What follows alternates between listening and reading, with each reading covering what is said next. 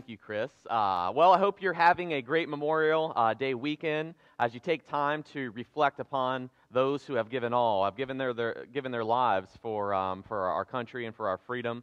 And we are so very thankful uh, for the many, many men and women uh, who have sacrificed so much for us. And I hope that you have a, a uh, great Sunday today and a wonderful day tomorrow. If you uh, remember, we are in the Keys to a Blessed Life sermon series. And so far, we focused on four things. If you want to have a blessed life, you need to preach uh, the gospel. You need to have the gospel preached to you as well. That is the key. The Word of God is a foundation for our spiritual life. And the more we get into the Word, the more the Word will get into us. The second thing that we talked about um, a few weeks ago is faith. Faith is an absolute um, key to having a blessed life. If, if we want God to bless us, we need to have biblical faith. And we looked at Romans chapter 4, where Abraham serves as the model of faith. And it wasn't that Abraham simply had belief in his mind, but that Abraham's beliefs led him to action. Uh, and we focused on two things. Number one, he believed that God could bring Sarah's womb, almost 100 years old, that was dead, back to life. That was the content of Abraham's faith, and that happened and he had the promised child. And then the second thing that Abraham did to serve as an example was that when God wanted to uh, have uh, Abraham give him that son, Abraham was willing to sacrifice the promised child. Why? Because he believed that God could raise Isaac from the dead. And then after faith, we talked about repentance and how repentance is turning away from sin back towards God. It's an attitude, it's a mindset change where it's, it's the U turn that we talked about. We're driving one way, living our lives for ourselves. We turn around and we walk back towards God. And that's what the Bible says that we should do repent of our sins. Last week we talked about baptism. This really kind of, if you're not a Christian and you've never been in church, this idea of being dunked in water uh, may be foreign and weird, but it's what the Bible teaches and how we looked at baptizo, right? The Greek word for baptism is always complete immersion of the body. It never referred to sprinkling or pouring, it was always total body immersion. And the New Testament never defined baptism as a work. Baptism, just because it was something that you did, didn't mean that it was a work earning you salvation. Um, every conversion story we looked at in the book of Acts described it as the time of salvation, the moment when you are saved not the means. That, that was faith. And so today we're getting to the final key in our sermon series, uh, which is works. Christian works. This is an absolute key in order to have a blessed life because what you do really does matter. Um, I know that every person in this room, we make a daily decision. When we wake up and we get our days going, we make a daily decision about who we are going to be and what type of person uh, we're going to become whether we're going to serve the Lord, read our Bible, uh, be involved in discipleship, we make a decision. And those decisions are made on the backdrop of what we believe, right? Uh, that seems almost obvious, but what we decide to do is made on the backdrop of what we believe, what type of ideas we hold in our own mind and in our heads. And so we, I don't know about you, but we get stuck sometimes because we have a lot of really good beliefs, we have a lot of really good intentions, but sometimes what happens? We come into conflict with our sin. It's like this I can't tell you how many times I think I should buy Angel flowers. Angel being my wife, right? And the thought is there, but how many times do I actually buy her flowers? Unfortunately, it's not as often as what it should be, right? Uh, we have good intentions. Wives, sometimes you want to do special things for your husbands. It might be there in your mind, but when the kids are crying, when you got to cook dinner, uh, when you're late working, I mean, sometimes it just doesn't work. And so this happens with the Christian lifestyle. We intend to follow God. We intend to do right by God, but then we all get this really big issue called sin. Sin creeps into our life, it becomes a habit, and uh, it's, it's not the person that we want to be or become. And so, if you'll turn into James chapter 2, that's going to be the primary text of our uh, of reading this morning. And James is dealing with a, a church that wants to do the right thing. Um, this church is probably a lot like Severn. Uh, they are really about preaching the Word of God and hearing the Word of God. They want to do the right thing. Um, but sometimes, right, sometimes you don't follow through. Sometimes you hear the Word a lot, but when it comes to doing the Word, we make mistakes, we mess up, we fall short. And I don't know about you, but that's so true for me. And that's why I say the book of James is a lot like Severn, because the book of James is a lot like me. And it's probably a lot like you as well. And so in James chapter 1, uh, just as a quick review, James says, Look, I don't want you just to hear what the Word of God says, I want you to actually do what it says. Don't just be hearers of the Word, but be doers, he says. And then when he gets to the second chapter, um, he says it's really easy to be religious in our mind, but controlling your mouth is where the rubber hits the road. And many of you may have even cursed at somebody on the road because they were being a knucklehead or something like that. Maybe. Maybe you got in a fight with your spouse uh, or a yelling match with your kids when it comes to church or attending church. Maybe you just thought bad thoughts about coming to church, and those bad thoughts ended up coming out of your mouth. And James deals with this issue that is extremely relevant for all of us. We have a theoretical religion in our mind, but when it comes to the speech in our mouth, that really defines what we're all about. And so, as he works through this idea of Christian works, he comes down to this really kind of split in, in the road theoretical religion versus dynamic faith. Theoretical religion, the ideas and the beliefs, versus dynamic faith. And, and so that's kind of what we're going to talk about this morning. If I could define the two, I would say dynamic faith is someone who believes the truth and obeys the truth. Somebody who has theoretical religion talks a big game about what is right, but lacks obedience. And so when we tackle this idea of the difference between dynamic truth and theoretical, theoretical religion, James asks us to do something. Have a faith that is alive. Have a faith that works. In fact, as we'll see in our text, he goes on to say this faith without works is dead. It's like a dead body or something that is no longer alive and living. And so that's why what we do really does matter when we approach this subject of, of faith and works.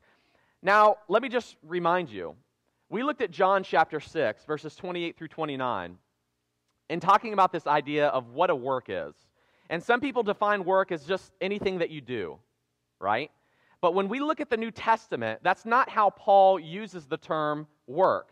Work isn't just simply anything that you do, work is anything that you do in response to God's law, which is why baptism isn't a work. So, everything that we're going to be talking about this morning are things that you should be doing in response to God's law code that we call the new law. There are two types of laws that are written about in the Bible. You've got the Mosaic law, which is the old law, the Ten Commandments, right? A lot of us try to keep the Ten Commandments. And if you try to earn your salvation by keeping the Ten Commandments, you're going to mess up. You're going to fall short. Then we have what's called the moral law in Romans chapter 2. We all have this law written on our hearts that we choose to obey or disobey. This morning, we're going to be talking about uh, the Christian law, or the New Covenant law, or the New Testament law that many of us have in our Bibles. So, if I could put it in a key phrase, I'd say this For Paul, a work or a work of law is any deed, external or internal, sinful or righteous, done in response to the law code that God has given us as His creator uh, and we as His creatures. So in James chapter 2, verse 14, let's, let's start there. He says here in verse 14, What use is it, my brethren, if someone says he has faith but has no works? Can faith save him? If a brother or sister is without clothing and in need of daily food, and one of you says to them, Go, be in peace, be warm, be filled, and yet you do not give them what is necessary for their body, what use is that? Even so, faith, if it has no works, is dead, being by itself. You see, for James and for the apostles, faith wasn't merely something that you held in your mind. It wasn't this mystical, theoretical ideology or doctrine. Faith was a belief that led to action. And you cannot look back at your life and say, I've been a faithful person, if there is no action to accompany uh, that faith. For instance, Abraham, he was called a man of faith, a faithful man. Why? Because he could point back to his life and he could look at moments along his life where he obeyed God. He left the land of Ur, uh, he went into the promised land he continued to have a relationship with Sarah in such a way that would bring a promised child. He was willing to give Isaac, the promised child, back to God in a sacrifice. And, and God ended up stopping him and told him that it was just a test to see whether or not he was a true follower of him. And so I want you to think about yourself. What are some key moments that you could look back to in your own life and say, man, that is a moment where I followed, where I trusted God? For a lot of us, it is this baptistry right here that that was a key moment where we look back on our life and we said, that was the moment where I said, I trust God. For many of us, it was going back to restore our marriage that was broken and maybe on a path to divorce. Maybe it was a time where we chose to put down a bottle, or we chose to stop smoking a joint, or we chose to stop listening to intoxicating music. A, a life decision that was for our own better glory to God. I don't know what that is for you, but I want you to think about that. When have been those key moments where you've decided to stop doing something or start doing something in order to follow God? Those are definitive moments of faith. And that's what James is saying to look at. Look at those moments and decide whether or not you are a person who walks and lives by faith, which is determined by your works. And so, if there is no physical activity of the body and rational intellect of the mind, one does not have biblical faith. And let me give you a perfect example. I have a terrible fear of heights. Like, if I go to climb on those rock climbing walls, like you could go over to um, uh, the mall over in Hanover, and at the Bass Pro Shop, they have that big rock climbing wall. I get about three feet up, and my legs start shaking. It's ridiculous. I'm like, I'm such a wimp. you know? I'm like, I don't like to look at stuff. I stay like five feet away from the edge of a cliff. There's this safety protective zone that I have put for myself because you never know what could happen, right?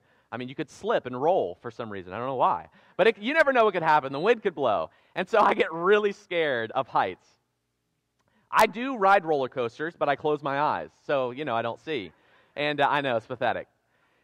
Anyways, so here's what, here's what biblical faith is, right? So imagine that we are on this really tall cliff, and, uh, and there's this long wire that goes across from one side to the other. There are crazy people who actually do that, by the way. They have these really long balancing sticks, and they walk across metal wires.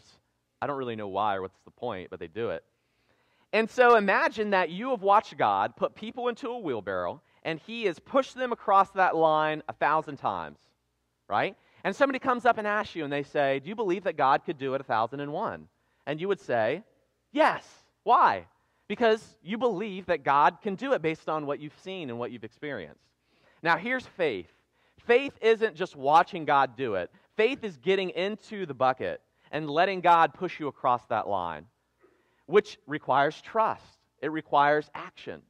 And so that's what the New Testament writers meant about faith. It's rational intellect with action of the body that leads us to actually do things. And so, can a workless faith save a person? That's a question. Can a workless faith save a person? And James says resoundingly, no. Just because you intellectually believe something, the Bible says, does not mean you are saved. And so, a key phrase that I would focus in on is simply this faith is the belief that. Faith is the belief that. It's the content of our faith. And James actually gives us a really good example, as we'll see. But we believe, for instance, we believe that God raised Jesus from the dead. We don't just believe that God is one, or that God is the creator, or that God is all powerful. We believe specifically that God can bring life from non life. Abraham believed that same thing. That's what Romans 4 says. The content of Abraham's faith was creationism. God could bring a dead womb back to life, God could bring a dead son back to life. And so that's why Abraham serves as the model of our faith. So we are in the life business, not the dead business. We are in the reality business, not the metaphysical, mystical realities of the mind.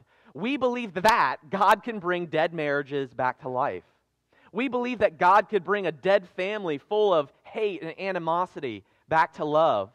We believe that God can bring a dead career back on purpose. We believe that God can take a dead church and bring it back to life again with passion. We believe that God could make a dead heartbeat alive with hope and purpose. We are in the life business. And so the content of what you believe about God will determine the actions that you have in your life. And that will ultimately determine the type of faith that you have. Look at verse 18 of James chapter 2. He says, But someone may well say, You have faith, and I have works.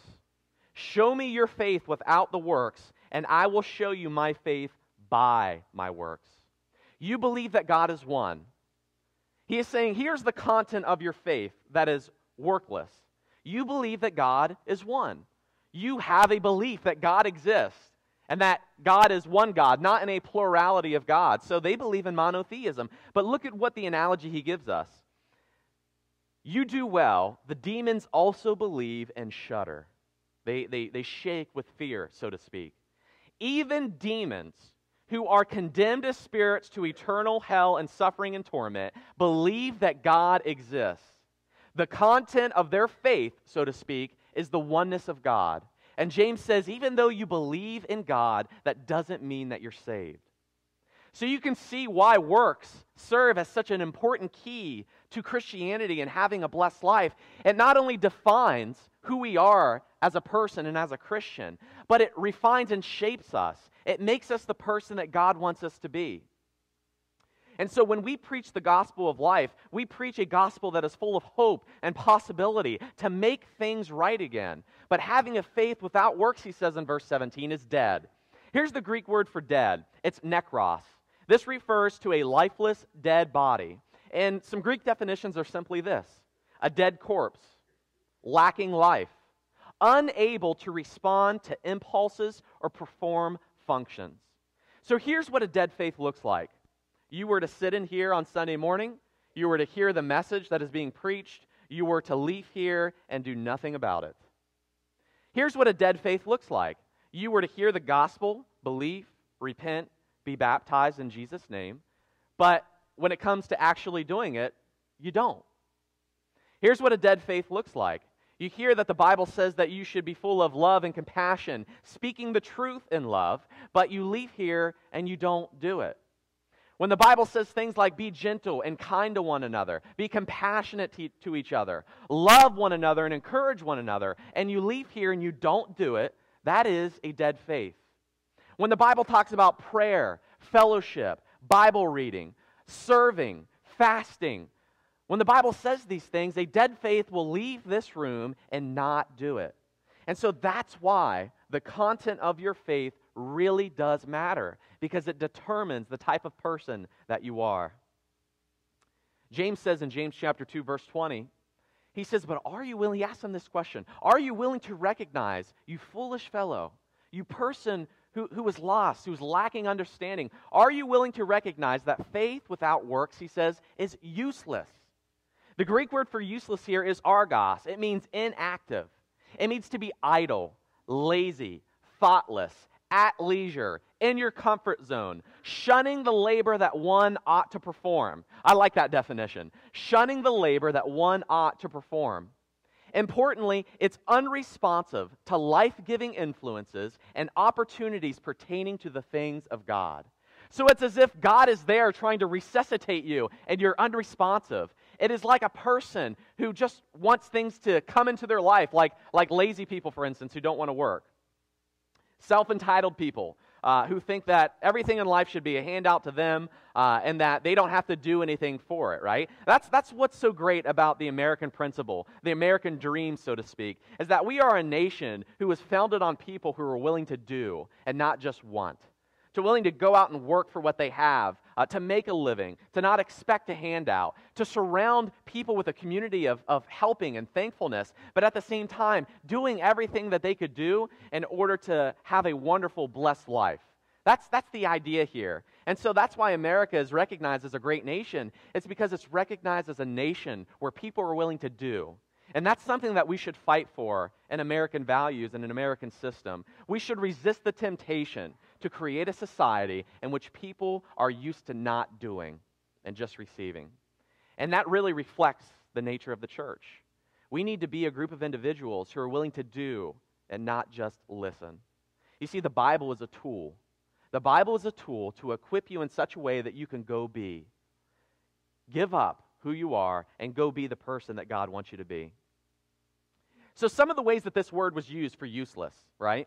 It's like having a field of corn and you plant the corn and then nothing pops up. Isn't that so disappointing? You know what I mean? Uh, it's, it's one of the most disappointing things. It's like eating a vegan burger. You know, it's like you're expecting real meat and somebody smushed up vegetables and calls it a burger.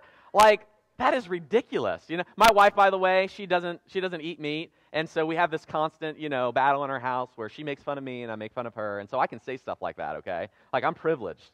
But uh, but yeah, so even Piper, I feel so bad for Piper. She's not eating meat. She doesn't want to eat it, and so she's taken after her mother, and so you know she's going to have some spankings coming down the pipe. Uh, if she doesn't eat meat with me, I'm just kidding. That would be terrible. I'd be a horrible father, right? That would be off, absolutely awful. But anyways, it's like not what you expect. It's, it's used like this. And, and I love Christmas Vacation. And like the older you get and you, you watch the movie over and over again, you're like, wow, this is actually really kind of a bad movie, you know? Like, only heathens should watch this stuff. But one of my favorite characters is Cousin Eddie. And if you do not know who I'm talking about, I think that you're probably a sheltered person uh, who has really missed out on what life has to offer. But if you don't know anything about Cousin Eddie, he's this totally like awkward, weird, barbaric person who like burps and does other weird stuff and uh, you know, he's like standing outside the house and it's wintertime and he's in his bathrobe smoking a cigar and he's emptying his RV tank into the sewer. I mean, that's the, that's the type of person that we're talking about here. And so, Cousin Eddie didn't get anything for his kids for Christmas. Like, he is a complete jerk. And, uh, and he's a terrible father. And, um, anyways, it's, it's a long story. But Cousin Eddie's one of my favorite, right? Not because I, I identify with Eddie, of course, just because he's a funny character. And he's gone eight years without having a job. Eight years. Yeah, in the movie. Eight years he's gone without having a job. And so Clark, who's the main character of the story, is talking with his wife, and he's like, Really? Eight years without having a job? And she says this. She says, and uh, here's how here's the dialogue. In seven years, actually, sorry, it's seven. In seven years, he couldn't find a job. And Catherine, his wife, says this. Well, he says he's been holding out for a management position. Isn't that ridiculous? I'm just going to not work because I'm a manager. I got top quality here, and uh, you know I'm just going to not work until I can have a management position. AKA, he's lazy. He doesn't want to work. He's not being the person, the father, the husband that he should be, and providing for his family. That's the idea about a useless faith. Uh, that's what the Bible conveys. It's inactive, it's lazy. And so, if we are willing to recognize that what we believe can become useless, inactive, or dead without works, it should radically change the way that we live. And so, if you could give this comparison in the scripture, Eddie is a demon, so to speak. He's got good ideas in his mind, but when he comes to actually doing something, he's useless, he's inactive, he's, he's a dead father, so to speak. And so the demons demonstrate negatively what Abraham and Rahab demonstrate positively. And so our text actually uses Abraham, the model of our faith for what we should be. Look at verse 21. It says this Was not Abraham, our father, justified by works when he offered up Isaac, his son, on the altar? You see that faith was working with his works as a result of the works, and faith was perfected. It's like a, a computer program, right? If you've got 85% download, you don't have the whole thing. The program's not going to run right. You're going to have missing components in the program. Uh, it's like these games now. You know how ridiculous it is to buy a video game and then find out you can't even play the game because you have to spend another $100 on stuff? Like, that's a lot of you are like, I don't play video games. I have no idea what that's about. How about this? We buy picture programs on our phone, for instance and you can make all these wonderful edits to your picture. AKA, if you spend $100 on filters in order to make the pictures that you want. That's the same type of idea here. It's like going to the car, right? Going to the car manufacturer and finding out you can get a basic shell for a basic price. It doesn't even do what you want it to do. That's, that's what he's saying here. And so, faith, what we believe and who we are, is perfected. It's made complete. It's a total download. It's everything that we were meant to order by our works and what we do. Verse 23. He says, The scripture was fulfilled in which it says, And Abraham believed God, and it was reckoned, declared, imputed, spoken is what this means to him as righteousness. And what happened? He was called God's friend. And so James says, Look, look back at Abraham's life. That moment when he was willing to sacrifice Isaac on the altar to God, God says, You are righteous. I am giving you my righteousness because of what you did. That's what the Bible says when it comes to this idea of faith. Not just believing, but doing. And so James ends verse 24 with this You see that a man is justified, declared righteous by works and not by faith alone. A lot of people have struggled with this passage um, because they've this very strong idea of grace and faith. And this idea that we're not just saved simply by believing certain things is quite radical and difficult for people to understand and accept. And I can understand this tension. But here's what our works do after we become a Christian. Every time we pray, every time we fellowship, many of you have done a good work this morning, whether or not you believe that. Some of you came to Sunday school. Every single person has showed up here to hear a sermon. That is a good work. That's doing a good thing. At the end of service, we're going to pass the offering and give back to God. That's a good work. That is a good thing. We're going to take the Lord's Supper. That is a good work. We're going to pray. Every time we do things like this, it points back to our baptism and says, yeah, that was legitimate. That was real. That was saving faith. Why? Because of what we are doing, because of who we are. And that's what James means by this. So we have good news. The good news is that while our good works don't earn our salvation, they do confirm that our salvation was real, it was legitimate. And so that's why James can say, I will show you my faith by my good works. And so here's really good news, everyone God doesn't require your perfection, He gives it to you. What God requires is your faithfulness. God doesn't require you to be perfect. He wants you to be, and He requires you to be faithful. That means every time you fall down, He wants you to get back up. Every time you make a mistake and sin, He wants you to, to make that mistake right by doing good things. He wants you to constantly be in a relationship with Him. He wants you to become the best person that God knows you can be, that God planned for you to be by your good works. And so, somebody who lives a life of faith somebody who is a Christian who follows after God will be somebody who is completely and totally imperfect, but tries to be the best person that they possibly can be by the power of the Holy Spirit. And so let me give you seven things to end this morning, and they're not going to be very long. They're actually quite short and simple that you can do that are going to be good works that God wants you to do. Here's the first thing prayer. You see, Abraham was called God's friend. Do you know any friends that never talk to each other? Like, we all have friendships that we built in high school and that maybe we built in college and that we heard earlier on in life. But friends establish friendship over what? Communication. Uh, you become friends by talking to each other. And so, if you are God's friend, what is something that you should do? You should be talking to God. That's what prayer means. Prayer means literally God talk. And so, that's a good work that you can do. Make that your ambition every day that when you leave here, you're going to pray. You're going to talk to God every single day. That's a good work that you can do. Here's the second thing what do friends do? They understand each other, right? And I have a tendency, as normal preachers do, to talk. And I can talk a lot. Sometimes when I counsel or uh, when I'm just hanging out with someone, I'm just like, just jibber jabbering away, and the person's sitting there nodding their head and shaking, and then it clicks. I'm like, wow, I'm talking a lot. and, but but that's God wants to talk to us, and that's what friends do, right? They talk to each other. And so reading the Bible, reading the Bible every single day is giving God the opportunity to talk to you. It doesn't have to be a whole lot. You don't have to read the book of Leviticus or go home and read the book of Matthew. You know, just even having just Bible reading every single day. As you talk to God, let Him talk back to you. Number three, fellowship. I think friends do this, they submit to one another. I mean, maybe you've had one sided friendships before, right? Where you're the person that is only ever doing for them and they're never really doing for you. If you want to hang out, it's got to be on their terms. Go to their house, do what they want to do. But friendship isn't like that. And friendship with God isn't like that. You see, God isn't just this toy in heaven that we get to use for our advantage when something goes wrong. Uh, we, each other in this room, we're not just here for the sake of being manipulated and used by each other. We're here to fellowship. We're here to, to fellowship with each other. And that means that we spend time to one with one another and we submit to one another. We help each other out.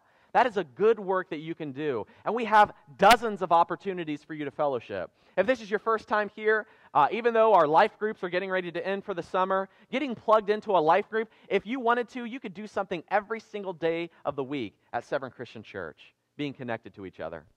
Number four, the Lord's Supper. The Lord's Supper comes from this idea of communion. The essential word, the idea is community. And so friends eat together. And we're getting ready to do that. We are going to eat with each other, uh, making intentional time every week to share a meal.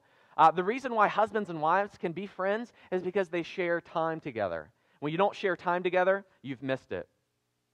Number five, uh, friends will serve, they'll do good to each other.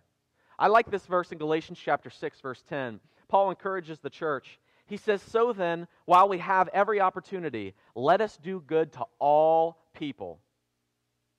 All people, especially to those of the household of faith. So here's the good news about your relationship with God it's not restricted to people like us.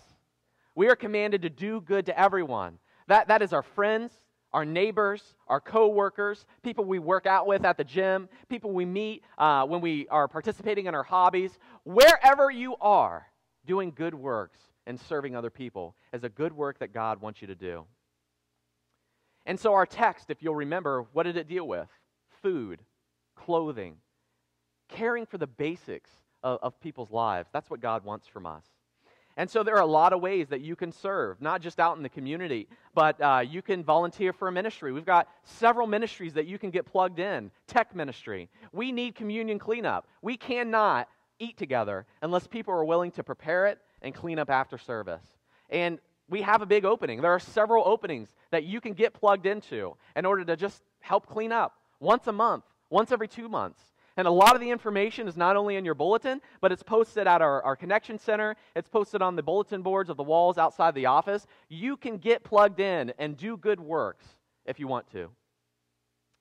We have Hope for All, uh, which sorts clothes and clothing and furniture, and they actually will go to people's houses who have had terrible life circumstances. We're talking about the people who slip through the cracks right? People who don't, uh, who make too much money to get government assistance, but not enough money to even take care of themselves. And so, one of the ministries that we support here is a nonprofit organization called Hope for All. We have donations that you can bring to the church. They have a huge warehouse uh, run by an ex teacher. He served in the teaching community for all of his life, and now he started this nonprofit organization for free. And he will go into a person's house and fully furnish it and give clothing. And he's just all about helping people, and it's a Christ based organization. They share the gospel with people as well.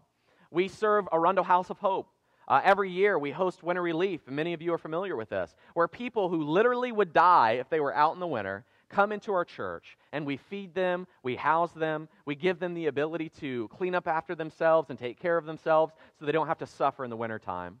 We have this building where we have, thankfully, a lot of people who put a lot of time into making things work so that we could have uh, sermons and classes and we can fellowship together grounds help, classes. I mean, there are so many ways to get plugged in and actually do and serve.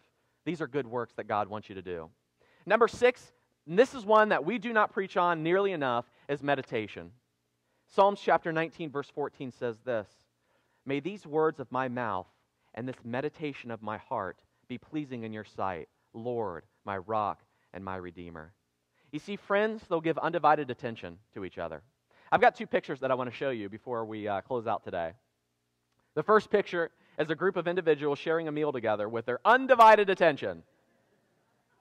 Right? You'll literally look, look up these pictures online, and this is so true. Uh, I, I read a quote the other day spend time with people that will make you not want to look at your phone. Right? Spend time with people that make you not want to look at your phone. And that's what the idea of the Christian community should be. Now, phone, I'm not saying all the phones are of the devil. You know, that's not what I'm saying, okay? That's not what we're saying here. But what we are saying is spend intentional time with each other. Get out of a book, get out of a phone, just get away from the TV and focus on, on God. Meditate. I like to think of it like this, right? Listening to the Word of God is like eating a nice, juicy steak or burger, aka non vegan But meditating is taking a bite and chewing on it and letting those flavors just hit every taste bud in your mouth and really thinking about how delicious and wonderful it is. I'm having burgers on Monday, by the way. Really excited about it. I hope you are too.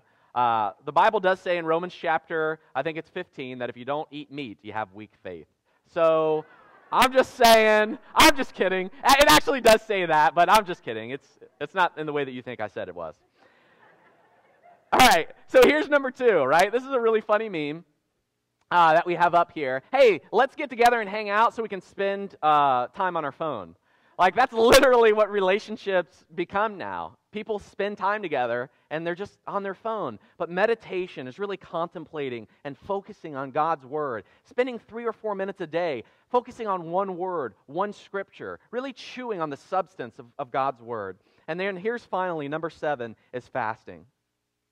You know, the Bible does say when you fast, not if you fast.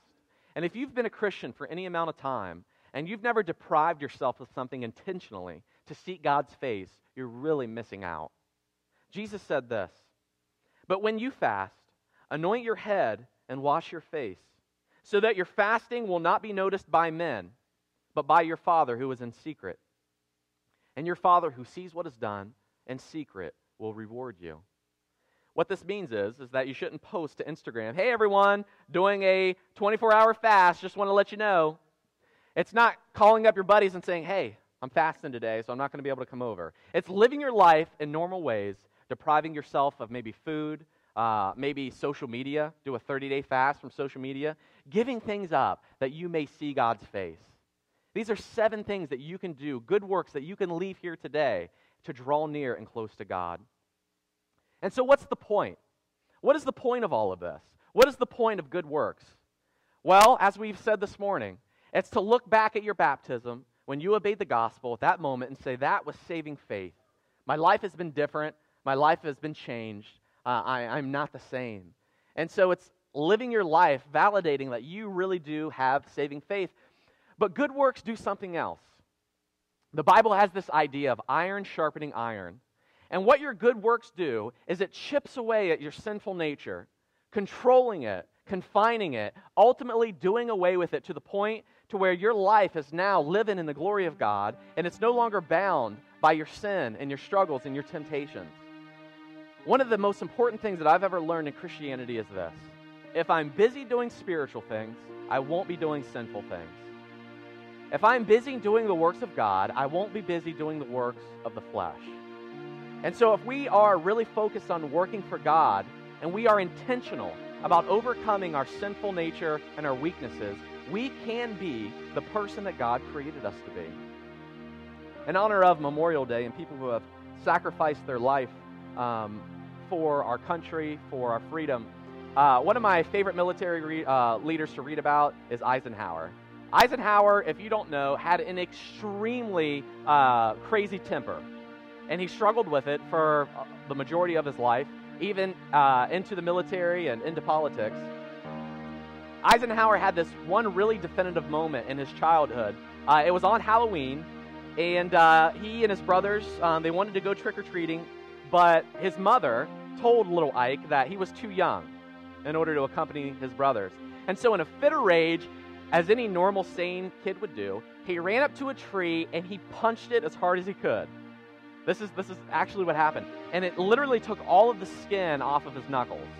And so, as any little boy would do, uh, he cried and went to his mom, and his mom sent him to his room where he spent an hour bleeding from his hand uh, in complete misery. And that's what his anger led to. And he was completely beside himself with rage. And after this hour, mom came up and she bandaged his wounds and she took care of him. And she said this and he says, This is something that I have always remembered. And it was a proverb from Proverbs chapter 16, verse 32. He that conquereth his own soul is greater than he who takes a city. It's a really powerful proverb. Ike said this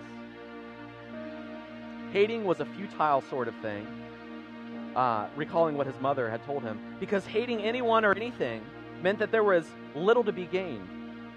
The person who had incurred my displeasure probably didn't care, possibly didn't even know, and the only person injured was myself. You see, what Eisenhower recognized about these temptations, these battles, is that if he wasn't intentional about overcoming them, they would roll and reign over his life.